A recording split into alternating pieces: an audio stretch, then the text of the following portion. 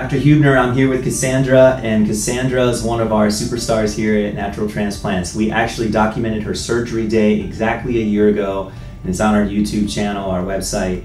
Um, Cassandra, as you can see from the befores, uh, big, big change. Uh, she looks like a completely different person with her edges back. She's now going out in her natural hair, wears a wig because she wants to, not because she has to. But Cassandra, tell us how your the transformation has been.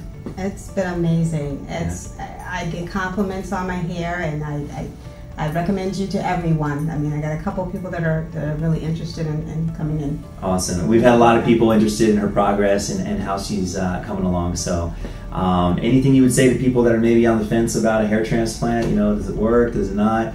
What do you think? It definitely works. Yeah. I wish I would have uh, considered a long time ago. Yeah, we were looking at her old pictures before, and I'll, I'll show this with you. I'll share those with you as well. But um, it's just amazing to see the transformation. Uh, how much smaller her forehead is. She, now she can wear a ponytail, um, and you know it's just amazing. So this is my favorite part of the job, and really what uh, what makes me passionate about doing this uh, in terms of being a hair transplant doctor. So.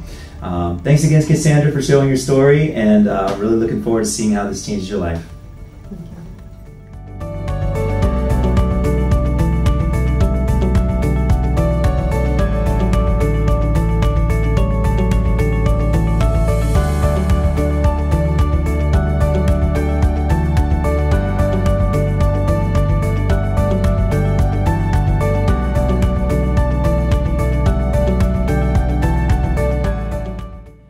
Us now, 844-327-4247, and ask about our Hue and Hue Plus procedures, which move more hair than ever before.